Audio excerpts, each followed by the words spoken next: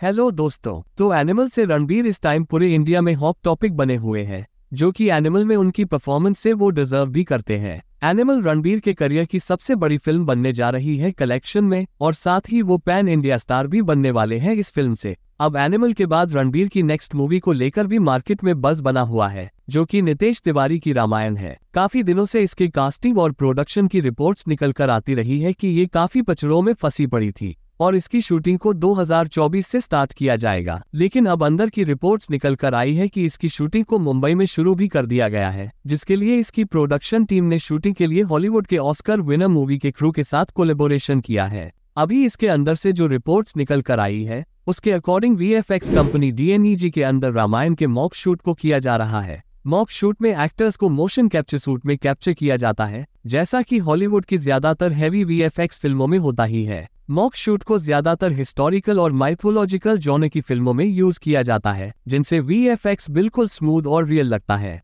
रामायण को हम अगर देखें तो इसमें राम रावण और सीता के अलावा भी काफ़ी ऐसे कैरेक्टर हैं जो कि इम्पोर्टेंट रोल में हैं। तो फ़िलहाल तो उन्हीं कैरेक्टर का इस टाइम मॉक शूट किया जा रहा है। जिन्हें बाद में स्पेशल इफ़ेक्ट से उनको माइथोलॉजिकल कॉस्ट्यूम दे दिए जाएँगे। अभी इस पूरे प्रोसेस की शूटिंग में दो महीने से ज़्यादा टाइम लगेगा। और फिर जो फाइनल प्रोडक्ट रेडी होगा, उसे देखकर नितेश तिवारी फरवरी या मार्च में मूवी के लीड एक्टर्स रणबीर और यश के साथ शूटिंग ज्वाइन करेंगे।